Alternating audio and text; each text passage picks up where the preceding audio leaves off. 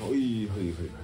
はいどうも鉄です。今回ですけどもえー、フラットね仕事場にですね久しぶりにガールズプレイしてきましたね。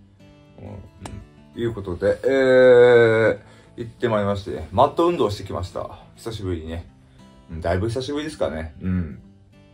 いやその女性がねものすごくねあの可愛いっていうかちょっとまあ美人系なお姉様で、うん、スタイル良くてうんうん、だすごいね、あの、ぼ、ぼ、なんつうの、ボディが良くて、で、締まりが良くて最高だったね。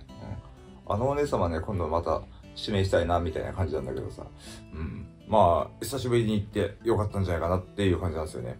うん。だからこうやってね、この間ね、なんつうあの、配信でもやったんだけど、あの、普通にさ、お店行きゃいいんだよね。うん。お店行って、お金払って、ルールに基づいて遊ぶという。うんそれが一番スマートだよね。だからそう考えるとね、安いもいいよ。うん。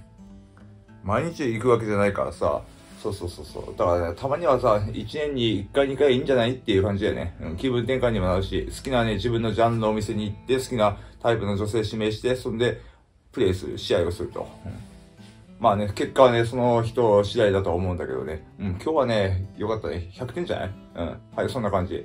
まあ、ちょくちょくね、行ってもいいかな、みたいな。はい、そんな感じ。おぶり。